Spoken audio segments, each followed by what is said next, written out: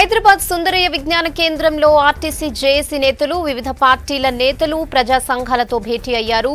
సమావేశానికి సిపిఎం రాష్ట్ర కార్యదర్శి తమ్మినేని సిపిఐ రాష్ట్ర కార్యదర్శి చాడ వెంకటరెడ్డి తెలంగాణ జనసమితి చీఫ్ కోదండరాం విమలక్క మందకృష్ణ మాదిగా హాజరయ్యారు. ఆర్టీసీ సమ్మెకు సంబంధించి భవిష్యత్ కార్యాచరణపై చర్చిస్తున్నారు. సమ్మెతో పాటు తెలంగాణ బంద్ పై అందరి అభిప్రాయం తీసుకోనుంది జేఏసీ. ఉద్యమాన్ని మరింత ఉధృతం చేస్తామంటున్న జేఏసీ నేతలు ఆందోళనకు సంబంధించి కీలక ప్రకటన చేస్తారని సమాచారం. ఆర్టీసీ జేఏసీ వివిధ పార్టీల నేతల భేటీకి సంబంధించి మరిన్ని అప్డేట్స్ శివ లైవ్లో అందిస్తారు. శివ ఈ సమావేశానికి ముఖ్యంగా ఎవరెవరు హాజరయ్యారు? మీటింగ్ ఎజెండా ఏంటి?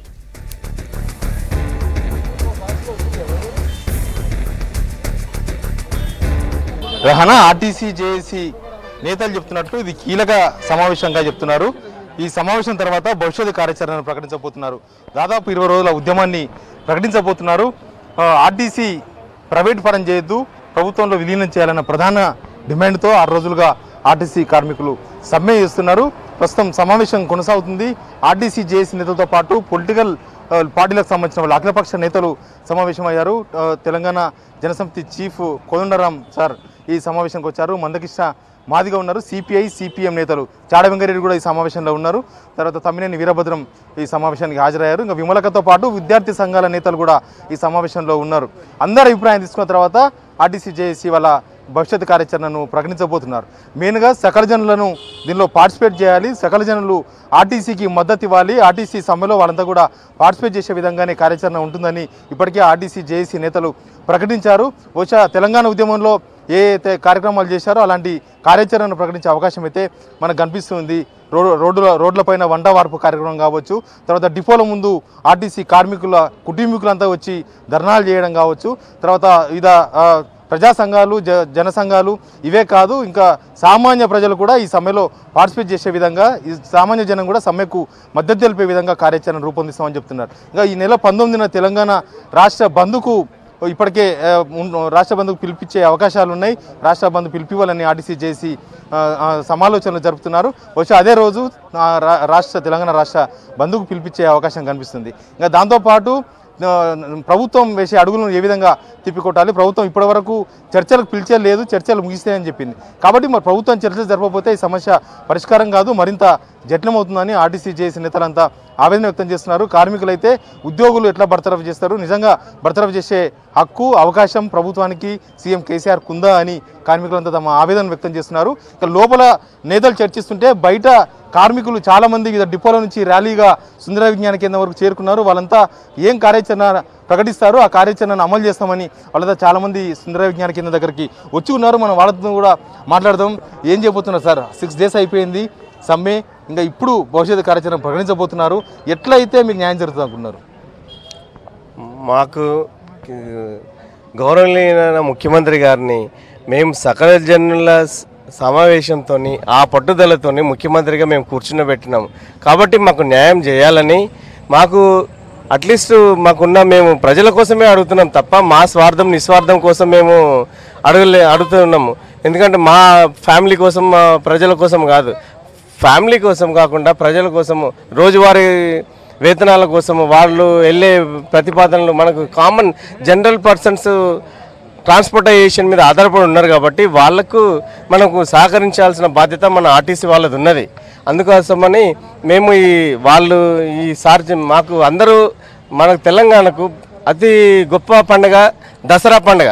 దసరా పండుగకు మాకు నెల ముప్పై రోజులు చేసి జీవితం కూడా మాకు ఇవ్వలేకపోయినా మేము ఇళ్ళల్లో అందరూ సంతోషంగా అందరూ ఉద్యోగస్తులు సంతోషంగా భార్య భర్తలు పిల్లలు ఊర్లలోకి పోయి పండుగలు చేసుకుంటే మేము ఆర్టీసీ వాళ్ళు మాత్రం ఇంట్లో పిల్లలతోని భార్యలతోని పిల్లలతోని కొట్లాడుకొని పండుగ జరుపుకున్నామండి. ఇది సమంజసం కాదు.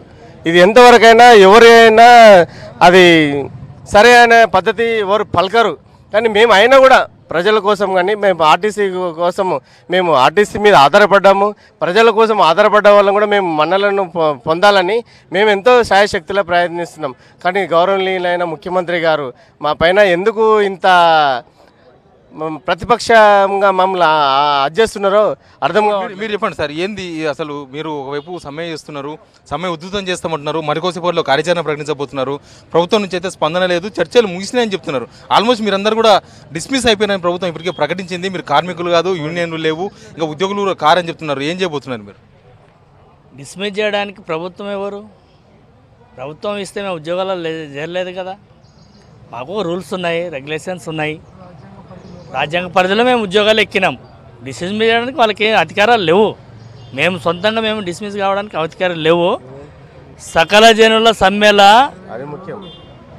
ఇరవై ఏడు రోజులు ప్రయాణం చేసినాం మేము. మేము రోడ్ల మీద ఉన్నాం. ఏ టీఆర్ఎస్ నాయకులు కూడా వచ్చి మమ్మల్ని పలకరియలే. ఇవాళ ఆయనను చీఫ్ మినిస్టర్గా పీఠం ఎక్కించినాం. ఈరోజు కార్మికుల మీద ఆర్టీసీ కార్మికులకు ఆయన జాలి లేదు. ఎందుకంటే ఆయన ఊహ వేరు. ఆయన ఊహలు వేరు అవి చెల్లవు. కాబట్టి ఇది మరో సకల జనుల సమ్మె. ఇది మరో సకల జనుల సమ్మె. ఇది ఉత్తమం అవుతుంది ఇది ఆగదు. మా సమస్యలు పరిష్కారం అయ్యేంత వరకు కూడా పోరాటమే చేస్తాం. తెలంగాణ ప్రజలు. మన సీఎం గారికి ప్రజాస్వామ్యం మీద విలువ లేనటువంటి మాటలు మాట్లాడిండ్రు. అది ఫస్ట్ వెనకకి తీసుకోవాలి నువ్వు ప్రజాస్వామ్యం మీద విలువ ఉండాలి. అసలు యూనియన్లనే తీసేస్తా నువ్వు నేను పుట్టక ముందే యూనియన్లు ఉన్నాయి. బ్రిటిష్ కాలంలో ఉన్నాయి. పంతొమ్మిది వందల ఇరవై ఆరునే ఉంది ఈ చట్టం అనేది. నువ్వు ఇవాళ నేను తీసేస్తాను. ఫస్ట్ నువ్వు బేషరతుగా విరమించుకోవాలి నువ్వు.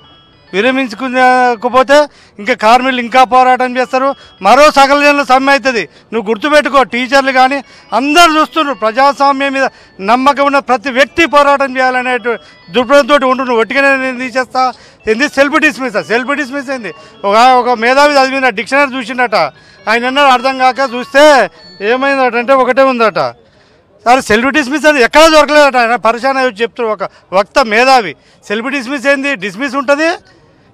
సో రా- మనం ఉద్యోగ విరమణ చేస్తాము లేకపోతే రాజీనామా చేస్తాం సెల్ఫ్ డిస్మిస్ ఏంది ఆయన పరిశాన అయిపోయింది మేధావులకు కూడా అందనటువంటి ఇంగ్లీష్ వాడినావు నువ్వు. అది ధర్మం కాదు నీకు. మేము ఇరవై రోజులు సమ్మె చేసి దసరా దీపాలకి పస్తులు ఉండి నిన్ను ఎక్కించినాం గద్దె. నేను గద్దెనెక్కిస్తే మాకు ఇదా చూపించేది నువ్వు. కృతజ్ఞత జ్ఞానం ఉందా నీకు అసలు?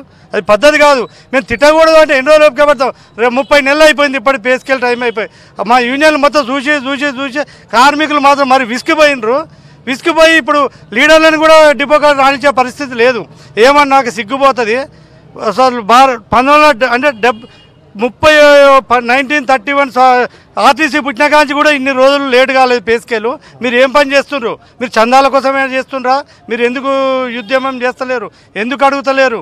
అనే దాని మీద తీవ్రంగా జరుగుతుంది. నువ్వు ప్రజాస్వ బేషరతుగా వెనక తీసుకోవాలి. తీసుకొని మా హక్కులను నిలబెట్టాలి. పక్కన జగన్ ఏం చేసిండు? విలీనం చేసిండు. విలీనం చేసిన తర్వాత నువ్వెందుకు చేస్తలేవు? ఆయన లోటుపాటు చేయటైనా విలీనం చేసిండు. మిగులుబాటు చేయటైనా ప్రైవేట్ పరం చేస్తుండు. ఇక గిదా చేసేది నువ్వు చక్కదనం ఆయన మొత్తం లాస్లో ఉన్నాడు విలీనం చేసుకొని కడుపులో పెట్టి చూసుకుంటుండు. నువ్వే మేము గద్దెనెక్కించడంలో పక్కన నూకుతున్నావు? నీకు అసలు యూనియన్లు ఉండొద్దట. ఇదేం పద ఇదన్న అసలు వాళ్ళని హర్షిస్తారా? ఎంత ఘోరమైనటువంటి మాటలను నువ్వు తీసుకొని మా హక్కులని ఈ ఆమోదం తెలుపుతా తప్ప నీకు మాత్రం మేము అప్పటి వరకు సమ్మె జరుగుతూనే ఉంటుంది. పోతే పోయింది. నువ్వు నూట యాభై ఏళ్ళు బతకవు నేను నూట యాభై ఏళ్ళు. చరిత్రలో మాత్రం ఒకటి ఉంటుంది. మంచి చెడు.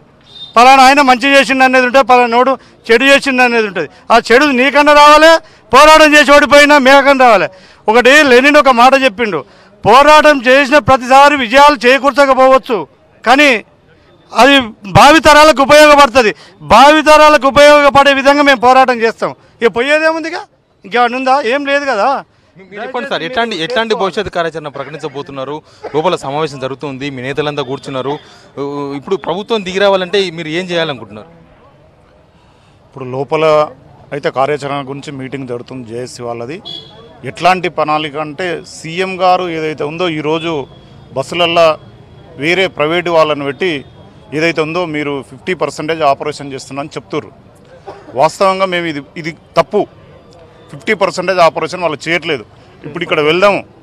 ఇక్కడ వెళ్ళి రోడ్ల మీద చూస్తాం. ఎన్ని బస్సులు వెళ్తున్నాయి ఏంటి అనేది చెప్ చూస్తే మీకు అర్థం అవుతుంది. నాకు తెలిసి మ్యాక్సిమంగా ఇప్పుడు ఒక డిపోకు పదిహేను పది బస్సులు పదిహేను ఇరవై వెళ్తే వెళ్ళిండొచ్చు. వాళ్ళు కూడా ఏం చేస్తున్నారంటే డబ్బులు వసూలు చేసుకొని ఒక్కొక్క జాల మధ్యలోనే వెళ్ళిపోవడం జరుగుతుంది. డిపోలో సరిగా కట్టట్లేదు. అలాగే అక్కడక్కడ యాక్సిడెంట్లు కూడా అవుతున్నాయి.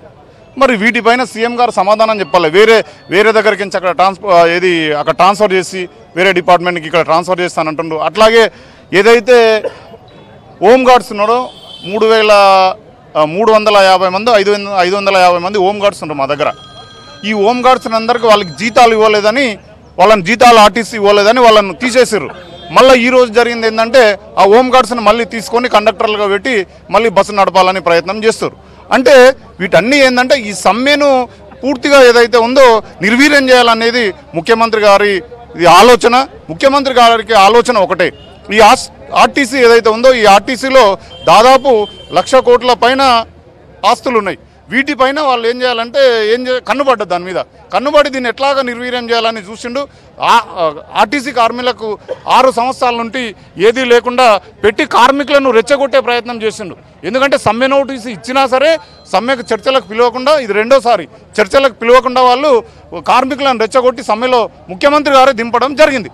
కాబట్టి ఏదైతే ఉందో రాబోయే రోజులలో తప్పనిసరి ఇంకా మేము ఉధృతం చేస్తాము అందరినీ కలుపుకొని కార్మికులు ఏదైతే ఉందో ఓపిక పట్టాలి. అట్లాగే వచ్చే డ్రైవర్లకు మేము ఒక విజ్ఞప్తి చేస్తున్నాం. అయ్యా మీరు చేసేది తాత్కాలికము. కండక్టర్లు కూడా వచ్చేవాళ్ళు కూడా తాత్కాలికము. కాబట్టి మీరు అతిగా ప్రవర్తించకుండా ఒకసారి ఆలోచించండి. ఆర్టీసీలో ఏడు వేల పోస్టులు ఉన్నాయి మీరు డ్రైవర్లు అయితే సమ్మె విడ్రా అయిన తర్వాత తప్పనిసరిగా మీరు రిక్రూట్మెంట్ అవుతారు. మీరు రిక్రూట్మెంట్ అయితే అప్పుడు పర్మనెంట్ కింద మీరు ఆర్టీసీకి వస్తారని మేము తెలియజేస్తున్నాం మీ ద్వారా. ఇది ఈ గవర్నమెంట్ ప్రభుత్వం దిగి వచ్చే వరకు సమ్మె కొనసాగుతుందని చెప్తున్నారు. ఇంకా సమావేశం ఆల్మోస్ట్ చివరి దశకు చేరుకున్నది మరికోసేపట్లోనే ఆర్టీసీ చేసి భవిష్యత్తు కార్యాచరణ ప్రకటించబోతుంది. టీఎన్జీఓ టీజీఓ ఉద్యోగ సంఘాలను కలుపుకొని ఉద్యమ కార్యాచరణ సిద్ధం చేస్తున్నామని టీఆర్ ఆర్టీసీకి సంబంధించిన నేతలు చెప్తున్నారు. మరికోసేపట్లోనే ఆర్డీసీ జేఏసీ భవిష్యత్ కార్యాచరణను ప్రకటించబోతుంది. Okay Shiva thanks for the updates